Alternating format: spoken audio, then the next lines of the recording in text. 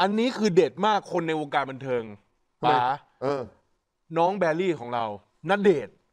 น้องทำแบบนี้พี่ไม่มีที่ยืนเลยทำไม ทำไมโอ้โหนี่ไม่ธรรมดานี่ป๋าคือวันวาเลนไทน์นี่เขาป๋าไม่รู้อะตอนนี้โอ้โหโด่งดังมาก แบลลี่นี่เขาไปลงทุน โพสต์ วันวาเลนไทน์ให้กับน้องยาย่านี่คุณผู้ชมฮะ ทั้งตึกเลยนะ ดูไม่รูนี่ปนี่นี่ต่างไม่ได้ภาพตัดต่อใช่ไหๆมไม่ใช่ภาพตัดต่อคือและจอ LED นี่ขึ้น ทั่วทั่วกรุงเทพเลย และที่สำคัญคุณผู้ชมครับ อันนี้ไม่ใช่งานอีเวนต์เออไม่ใช่โปรโมทไม่ใช่งานไม่ใช่โฆษณาเหรอ ทั้งหมดนี้นะ Happy Valentine's Day น้องณเดชน์ของเรานะครับ ครับ ติดต่อเองคุยเองดิวเองหมด ผู้จัดการไม่รู้เรื่องนะ เหรอพี่อ๋อไม่รู้นะเออ นะฮะผู้จัดการบอกว่า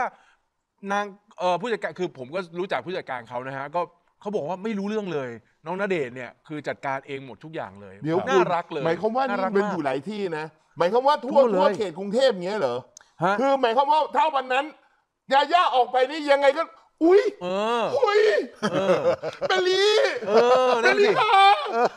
เขาเขียนว่า มันต้องขนาด Happy นี้เหรอ Valentine's Day ยาย่า14 February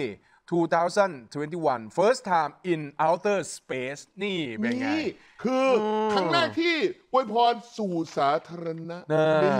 ป๋าพี่ซีฮะ ขอนิดเดียวเอาอีกเอาอีกแล้ว แล้วขออะไรจังอะขอจังเลยนิดเดียวอะไรนิดเดียวว่าทำไมพี่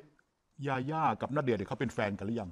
เป็นแล้วอุ๊ยสิเป็นแล้วเขายอมรับแล้วเขาเป็นแล้วยอมรับไปแล้วเขายอมเป็นแล้วรับเป็นแล้ว ยอมรับแล้วว่าตอนนี้เราคบคบหาเป็นแฟนกันเอาเขาบอกแล้วเหรอเขาน่ารักบอแล้วตัวเองเป็นเป็นไรเนี่ยเฮ้ยเขินแน่นเลยชอบ นี่จับไปมือยุ่ยมากเลย มีอีกอันนึงอะจริงเดียว นี่นี่รูปเขาน่ารักมากเลยเขาก็